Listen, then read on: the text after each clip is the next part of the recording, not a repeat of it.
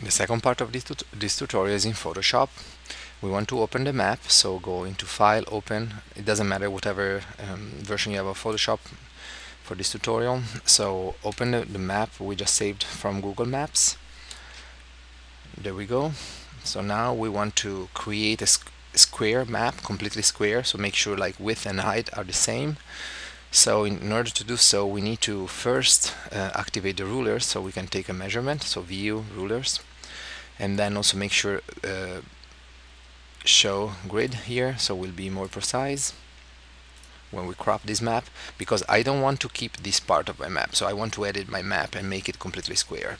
So if you go into the image menu image size you you will see exactly how this uh, document uh, is uh, mm, size. So it's 22.65 centimeters uh, wide and then 23.39 high. So what I want to do is actually um, cut a part of this map and make everything 22.65 and 23.39 so let's the calculator. Let's subtract width to height 23.39 22.65 okay 0.74 so we want to subtract something that is 0.74 centimeter from the top part of this map. Let's drag some guides around for the part we want to save.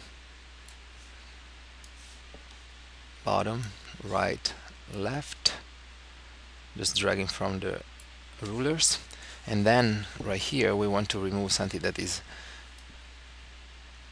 0.74 so now this guide is on 0 and then let's just calculate something that is 0.74 in order to do so let's get like a little bit more into the map. Zoom in. Hitting control plus so something that is 0.74 here on the left part you see in the ruler we have like millimeters. So 0.74 centimeters are 74 7.4 millimeters. So 1 2 3 4 5 6 7 and then this is gonna be 8 so let's do something like this.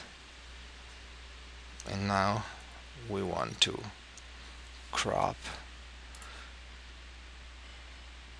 the image using the guides as a reference. So use the marquee rectangular tool here to make a rectangular selection then go into image crop.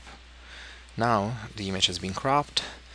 We want to see again the exact size. And there we go. We have a width 856 uh, pixel and height 856 in centimeters 22.65 by 22.65 okay so next tutorial we'll see how to create tiles in Photoshop. That we can use later in OpenSim